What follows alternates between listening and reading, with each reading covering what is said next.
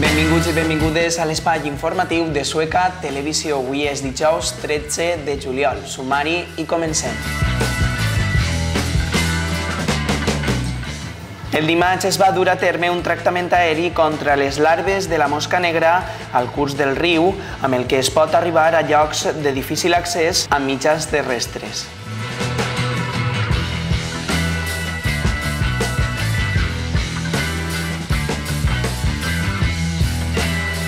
Com cada estiu s'ha posat en marxa des de l'Ajuntament una sèrie d'activitats esportives a les platges del municipi, concretament a la Llastra, les Palmeres, Marín Blau i Vega de Mar.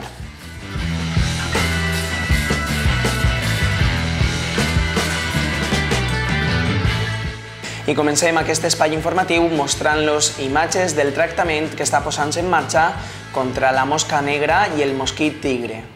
L'heliport situat en els canons ha sigut el lloc triat un any més per a la presentació del tractament que el Consorci de la Ribera, a través de l'empresa Loquímica i amb la col·laboració de l'Ajuntament, realitza al nostre terme per a combatre més eficaçment les larves de mosca negra en els punts que presenten major incidència al llarg del riu Xúquer i que resulten més inaccessibles. És un tractament per a la mosca negra, també afecta el mosquit tigre, però eh, més a la mosca negra perquè eh, les larves del mosquit tigre on es reprodueixen, com hem, estem, hem dit molt sovint, és en llocs on no hi ha corrent d'aigua, en llocs on hi ha molt poqueta aigua i entonces allí sí que posen les seues larves, on hi ha corrent allí no estan, allí el que n'hi ha és mosca negra i el tractament d'avui és per a la mosca negra.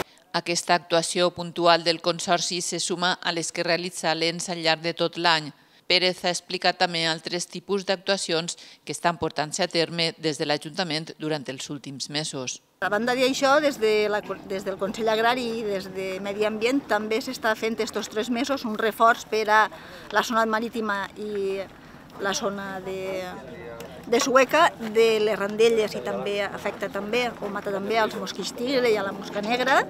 I els fem en els parcs, en els, en els jardins, en, on hi ha arbres, en la plaça de l'Ajuntament, per exemple, que n'hi ha un arbre solt, i que també està ahí, que fa, està més de 20 dies que està fent-se, a la gent que, que està rebent picades en sueca que no s'alarme, que, que és un moment puntual de l'estiu, a partir del 15 de juliol normalment tot és, és la zona dels mosquits a baixa perquè es fa el que es diu l'aixú en la zona de la Rosal i que a partir d'ahir tot, tot el que són els mosquits anualment passa el mateix i a baix.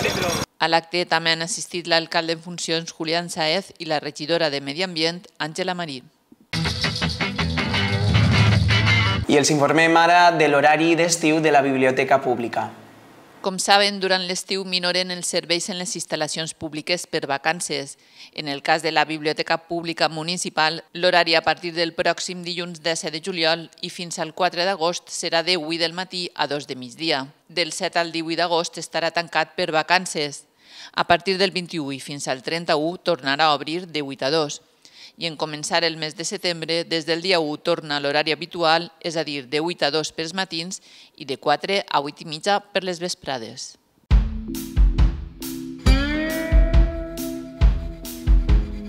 Les temperatures mínimes d'ahir han tingut valors realment elevats a molts punts del territori. Algunes zones de l'interior no han baixat els 28 graus i així al litoral han rondat els 25-26. Avui dijous està sent un dia amb abundants núvols baixos pel flux de llevant més marcat que tenim i que està provocant una baixada de les temperatures. Pel que fa a la resta de la setmana, esperem un horatge assolellat amb temperatures que tornaran a ser prou altes, superant els 36 graus a l'interior i més suaus al litoral per les brises, encara que per les nits esperem valors que no baixaran dels 22 graus a molts punts del territori.